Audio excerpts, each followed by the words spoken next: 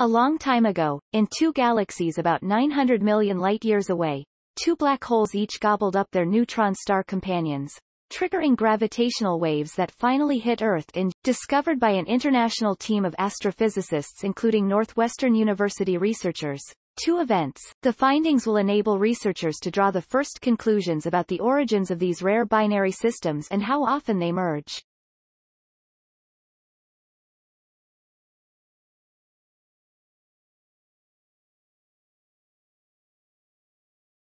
Gravitational waves have allowed us to detect collisions of pairs of black holes and pairs of neutron stars.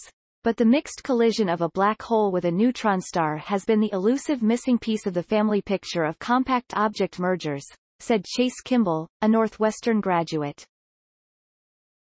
The team includes researchers from the LIGO Scientific Collaboration, LSC, the Virgo Collaboration and the Kamioka Gravitational Wave Detector, KAGRA, project. He also contributed to discussions about the astrophysical implications of the discovery.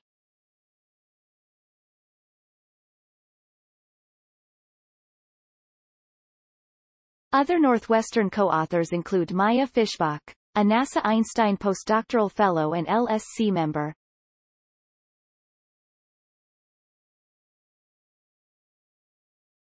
Two events in 10 days the team observed the two new gravitational wave events, dubbed GW200105 and GW200115, on January 5, 2020, and January 15, 2020, during the second half of the LIGO and Virgo detector's third observing run, called O3b.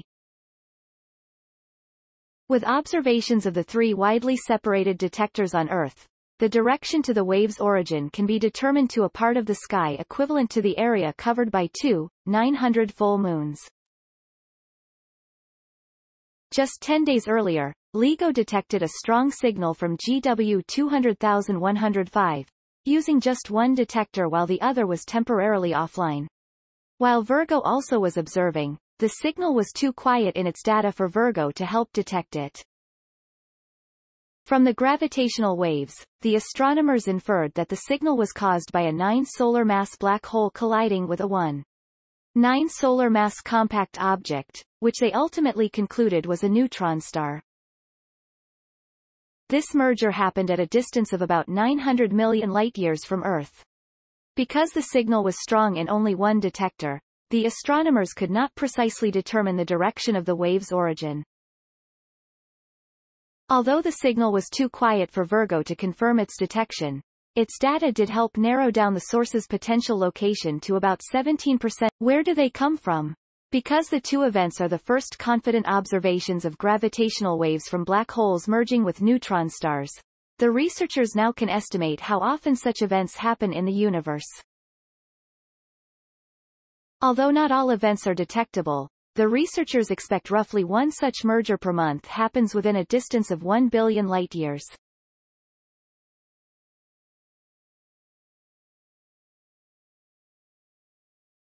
While it is unclear where these binary systems form, astronomers identified three likely cosmic origins, stellar binary systems, dense stellar environments including young star clusters, and the centers of galaxies. The team is currently preparing the detectors for a fourth observation run, to begin in summer 2022. We've now seen the first examples of black holes merging with neutron stars, so we know that they're out there, Fishbach said. With future gravitational wave data, we will have the statistics to answer these questions, and ultimately learn how the most extreme objects in our universe are made. Thanks for watching. Please subscribe my channel for more updates.